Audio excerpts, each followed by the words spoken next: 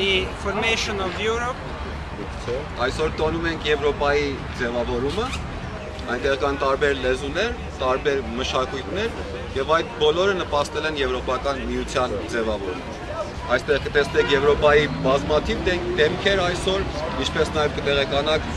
Եվրոպական միության հետ իրականացվող ծրագրերի մասին եւ ապակա հերանեկարների մասին։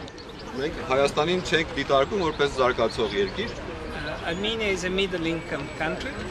Հայաստանը միջին եկամուտ ունեցող երկրների շարքին է դասվում and it's one of our neighbors. եւ մեր հարևանն է։ And uh, like with many of our neighbors, we try to have special relations. Եվ ինչպես մեր բոլոր հարևանների հետ Հայաստանի հետ փորձում ենք հատուկ հարաբերություններ ունենալ։ Սա ամեն տարվա միջոցառում է, որ մայիսի 9-ին է հիմնական Եվրոպայի օրը նշում։ Այս տարի Հայաստանում մենք նշում ենք ամսի 21-ին, որովհետև զանազան մեր տոնակատարությունների հետ զուգաթիվելու հետ կապված մենք որոշեցինք տեղափոխենք ամսի 21-ին։